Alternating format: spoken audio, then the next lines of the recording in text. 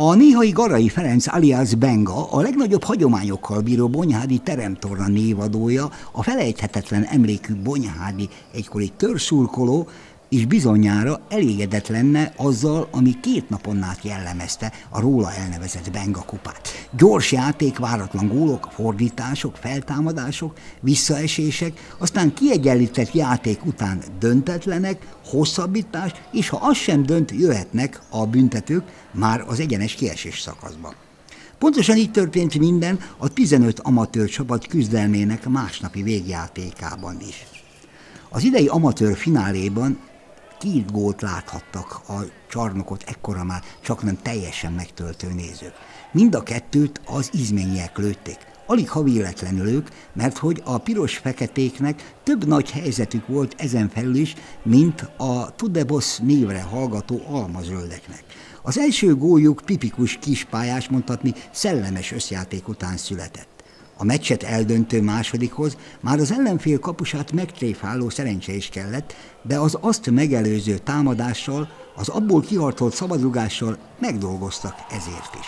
Miután kialakult a végeredmény az idei Benga Kupa amatőr döntőjében, a jegyzőkönyvekbe ez kerül Robi Bál Izmé to the Boss 2-0.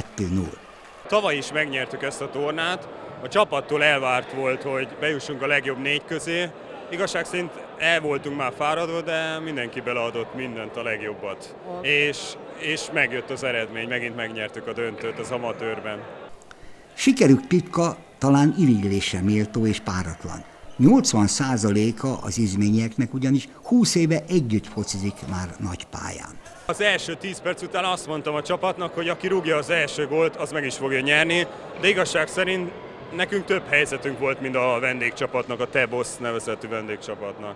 És le a kalappal, mind a Tebosz előtt is, mert ők a profiba is harmadik, a negyedik helyet érték el, és, de szerintem a meccset mi uraltuk. Nekünk jöttek ki a 2-0-ás végeredmény.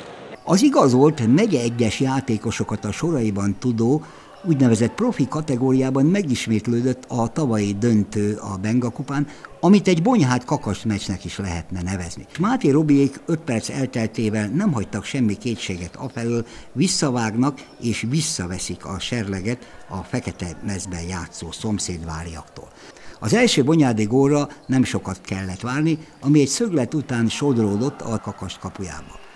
Még tudott válaszolni a más testvérek összjátékával, a fekete sereg tagadás, szebb gól volt ez, mint a bonyhádi. Ezt követően játékbeli fölényét azonban gólokra váltották a piros mezesek. Négy egyel visszakerült a legpatinásabb serleg Bonyhádra